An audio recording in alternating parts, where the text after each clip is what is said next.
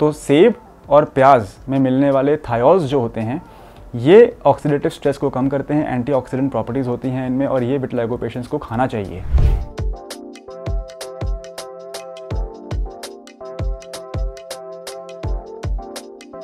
हमें क्या नहीं खाना चाहिए विटलाइगो के पेशेंट्स को?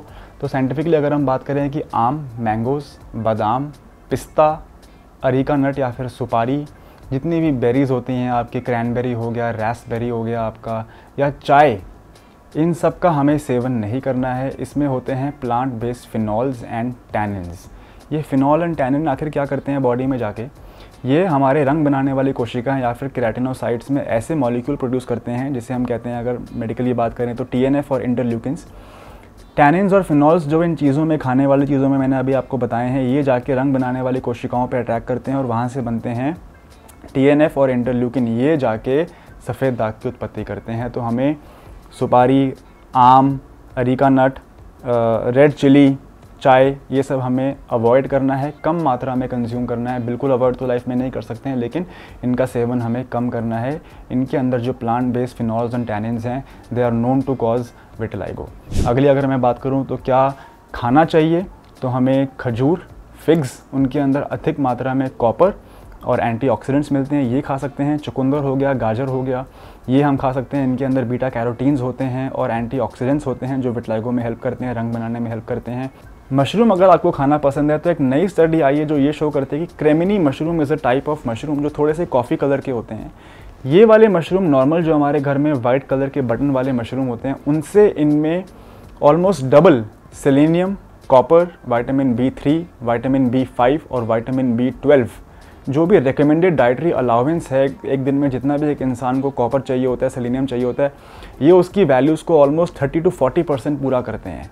तो क्रेमिनी मशरूम अगर आपको कहीं मिले तो आप इसका सेवन कर सकते हैं। इसमें विटलाइगो में हेल्प मिली है। प्याज और सेब। प्याज और सेब के अंदर एक कंपाउंड होता है, जिसे हम कहते हैं थायोल्स थायोल्स जो होते हैं, जो मैंने पहले बताया अपनी वीडियो में, जो विटेलेगो की उत्पत्ति हो रही है, वो कैसे हो रही है? जो उसका मैकेनिज्म है, वो कैसे हो रहा है? ऑक्सीडेटिव स्ट्रेस ये ऑक्सीडेटिव स्ट्रेस कैसे होता है? हमारे खून में नेसेंट ऑक्सीजन का प्रोडक्शन होता है। इसी को आयुर्वेदिक ग्रंथों में एक्चुअली पित्त भी कहा गया है। तो ये जो फ्री रेडिकल्स हैं, जो ऑक्सीडेटिव स्ट्रेस हैं, ये हमारे रंग बनाने वाली कोशिकाओं पे हमला कर रही हैं, जिसकी वजह से सफ़ेद दाग की उत्पत्ति हो रही है। तो सेब और प्याज में मिलने वाले थायोल्स जो होते हैं ये ऑक्सीडेटिव स्ट्रेस को कम करते हैं एंटीऑक्सीडेंट प्रॉपर्टीज़ होती हैं इनमें और ये विटलाइगो पेशेंट्स को खाना चाहिए। अब मैं एक बहुत ही इंटरेस्टिंग कंट्रोवर्शियल बात करूँगा, वो है वे प्रोटीन आजकल हम देख रहे हैं कि बहुत सारे लोग वे प्रोटीन यूज़ करने लग गए हैं तो वे प्रोटीन का क्या कोरिलेशन है? सफ़ेद दाग के साथ क्या सफ़ेद दाग के पेशेंट्स को जिम जाने वाले लोगों को वे प्रोटीन लेना चाहिए? कहीं वे प्रोटीन से विटलेगो की ऑनसेट तो नहीं शुरू हो जाता है? तो डिस्कस करते हैं ऐसी तीन चीज़ें जो वे प्रोटीन में होती हैं जिससे कि विटलाइगो को अफेक्ट हो सकता है। वो तीन चीज़ें हैं सिस्टीन सिस्टीन भी एक्चुअली थायोल प्रोड्यूस करता है बॉडी में जाके, जो कि मैंने पहले बताया, अभी आपको सेब और प्याज में मिलता है थायोल अधिक मात्रा में। सिस्टीन भी एक कंपाउंड है जो वे प्रोटीन में मिलता है, जो थायोल प्रोड्यूस करता है और अगेन ये फ्री रेडिकल को कम करता है, पित्त को कम करता है ऑक्सीडेटिव स्ट्रेस को हमारी बॉडी में कम करता है और बेनिफिशियल है विटलाइगो पेशेंट्स के लिए। सेकेंड चीज़ जो है, वो है लैक्टोफेरिन लैक्टोफेरिन का मतलब है कि आयरन बाउंडिंग प्रोटीन है। ये हमारे शरीर में जो आयरन होता है, उसको बाँध के रखता है। तो जैसे मैंने वीडियो की शुरुआत में बताया कि जब तक हीमोग्लोबिन का लेवल 11 नहीं हो जाएगा, तब तक विटलाइगो पेशेंट्स में उतनी अच्छी इंप्रूवमेंट नहीं आएगी। छः सात अगर आपका हीमोग्लोबिन है तो आपको आयरन डिफिशेंसी है, आपको आयरन चाहिए बॉडी में। तो लैक्टोफेरिन एक ऐसा प्रोटीन है जो आयरन को बाँध के रखता है हमारे ब्लड के अंदर, और ये वे प्रोटीन में मिलता है एक्चुअली तो लैक्टोफेरिन भी रिक्वायर्ड है विटलाइगो पेशेंट्स में। थर्ड जो चीज़ है, वो है लैक्टोप्रीऑक्सीडेज और लैक्टोप्रीऑक्सीडेज क्या करता है? जो हमारी बॉडी में हैवी मेटल्स होते हैं उनकी चिलेशन या उनकी न्यूट्रलाइजेशन करता है। और ये हैवी मेटल्स भी एक्चुअली सेम पाथवे पे ऐड कर रहे हैं, ये भी ऑक्सीडेटिव स्ट्रेस हमारी बॉडी में कर रहे हैं। घुमा फिरा के सारी चीज़ें जो विटलेगो का पाथवे अब तक दुनिया में आइडेंटिफाई हुआ है, वो है फ्री रेडिकल की वजह से ऑक्सीडेटिव स्ट्रेस यानी कि पित्त की उत्पत्ति, यानी कि रंग बनाने वाली कोशिकाओं पे हमला होना ऑक्सीडेटिव स्ट्रेस का और ऑटो एंटीबॉडीज़ का बनना, जो जाके हमारे मिलानोसाइट्स पे अटैक करती हैं।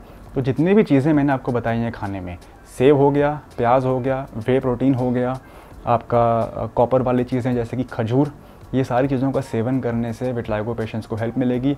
ऑब्वियसली रात को सोने से पहले अगर तांबे के बर्तन में आप पानी पीते हैं, उससे भी आपको फ़ायदा होगा। जो चीज़ें नहीं खानी हैं, वो कौन सी हैं? जिससे कि बॉडी में पित्त की उत्पत्ति होती है या ऑक्सीडेटिव स्ट्रेस बढ़ता है, जैसे कि आम लाल मिर्च, हरी मिर्च आपके जितने भी बेरीज़ हैं, सुपारी, ये सब हमें नहीं खाना है। इस वीडियो को आप प्लीज़ शेयर कीजिए चैनल को सब्सक्राइब कीजिए। मैं ऐसे और रिमार्केबल रिजल्ट्स जो मेरी टीम अचीव कर रही है, वो आपके साथ शेयर करता रहूँगा। और आने वाली वीडियोज़ के लिए प्लीज़ एक क्वेश्चन पूछिए। मैं आने वाले टाइम में एक ऐसे पॉडकास्ट सीरीज़ भी हम लेके आने वाले हैं, जहाँ पे हम बहुत ही डिटेल में हर चीज़ को डायसेक्ट करेंगे डॉक्टर्स के साथ और उनकी भाषा में सुनेंगे कि आखिर क्या करना चाहिए सफ़ेद दाग में और क्या नहीं करना चाहिए सफ़ेद दाग में।